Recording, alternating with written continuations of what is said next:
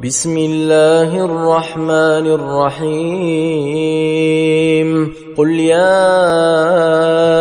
أيها الكافرون